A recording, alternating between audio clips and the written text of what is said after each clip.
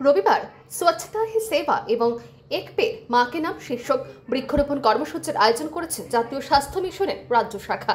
এই উপলক্ষে এদিন রাজধানী প্যালেস কম্পাউন্ডে এনএইচএম এর প্রকল্প অধিকর্তার কার্যালয় প্রাঙ্গণে সাফাই অভিযান করা হয়। এই সাফাই অভিযানে অংশগ্রহণ করেন রাজ্য সরকারের স্বাস্থ্য দপ্তরের সচিব কিরণ গিত্তে, এনএইচএম রাজ্য মিশন ডাইরেক্টর সুমিত্র রায়চৌধুরী সহ অন্যান্যরা। এদিন সাফাই অভিযানের পর একবের মাকে নাম কর্মসূচির অঙ্গ হিসেবে বৃক্ষরোপণেরও আয়োজন করা হয়। উপস্থিত অতিথিরা বৃক্ষরোপণ করেন। এ প্রসঙ্গে বলতে গিয়ে রাজ্য সরকারের স্বাস্থ্য দপ্তরের সচিব কিরণ কিত্তে জানান এবছর স্বচ্ছতা হি সেবা কর্মসূচির মূল ভাবনা হল স্বভাব স্বচ্ছতা, সংস্কার স্বচ্ছতা। এই ভাবনাকে সামনে রেখে এনএইচএম সাফাই অভিযানের আয়োজন করেছে তিনি জানান সাফাই অভিযান শুধু সরকারের কাজ নয় আগরতলা পৌর নিগমের কাজ নয় এটা সমাজের সকল অংশের মানুষের কাজ তিনি আরও জানান সকলের সমবেত প্রচেষ্টা এবং অংশগ্রহণে স্বচ্ছতা আমাদের দৈনন্দিন জীবনের কাজকর্মের একটি অংশ হয়ে উঠুক स्वभाव में ही स्वच्छता का एक गुण अ, तैयार हो और हमारे दैनंदिन रूटीन कार्यक्रम में ही स्वच्छता दिखे।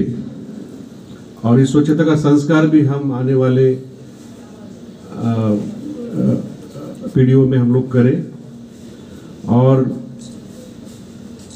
वॉलंटरी एफर्ट्स और कलेक्टिव एक्शन इसमें बहुत ज़रूरी है। जैसे कि आज हम लोग यहाँ पे स्वच्छता करेंगे, श्रमदान करेंगे। दूसरा मैसेज जो इस साल दिया गया प्रधानमंत्री महोदय ने कि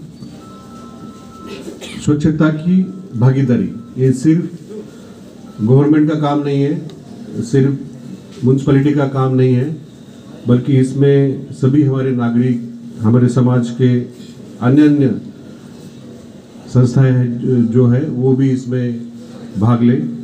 এই দিন এই কর্মসূচিতে অংশগ্রহণ করেন স্বাস্থ্য দপ্তরের আধিকারিক জানান, প্রতি বছরের মতো এবছরও এনএইচএম এর রাজ্যের সবকটি ইউনিটে সাফাই অভিযান করা হবে।